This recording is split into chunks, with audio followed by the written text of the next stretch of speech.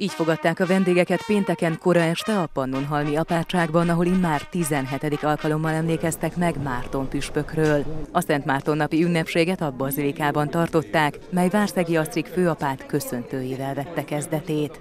Jézus egy alkalommal ezt mondta tanítványainak, szegények mindig lesznek veletek. Ez valóban így van, és hogyha őszinték vagyunk magunkhoz, ez az egyház mindenkori bázisa. Ma ezt még azzal tudjuk kiegészíteni, hogy szegények, mintha egyre többen lennének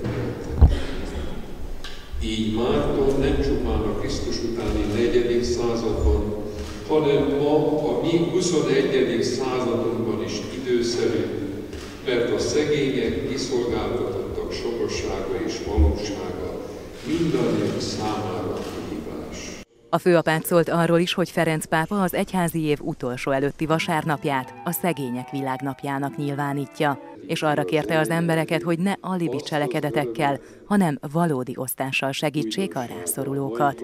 Beszéde végén a főapát egy váratlan bejelentést tett. A Szent Márton napokkal 17 év telt el.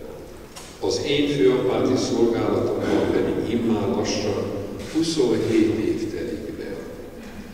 A bencés hagyomány bölcsessége az diktált a szívemnek, és ez van házi törvényeinkben is, hogy az idősebb adja át helyét a fiatalnak.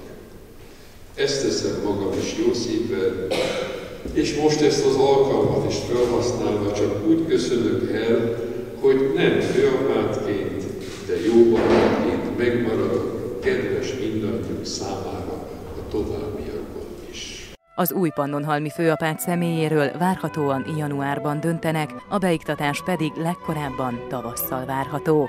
Az ünnepség a Győri Filharmonikusok Kamara zenekarának előadásával folytatódott, akik Johann Sebastian Bach legnépszerűbb zenekari szvitjeit játszották, melyben Róna Széki Mónika is közreműködött.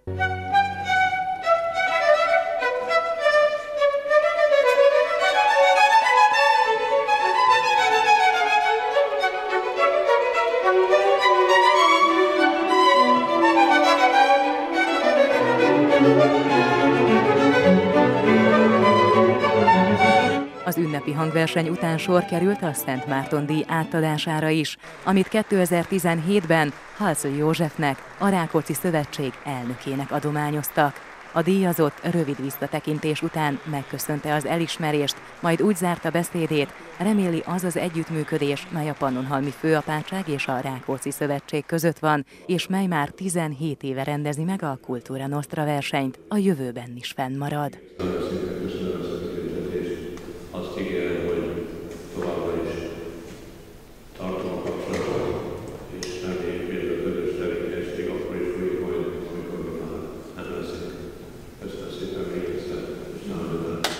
ünnepség a refektóriumban folytatódott, ahol az új termény és bor megáldását követően a pohár köszöntő után állófogadással és borkostolóval zárult a rendezvény.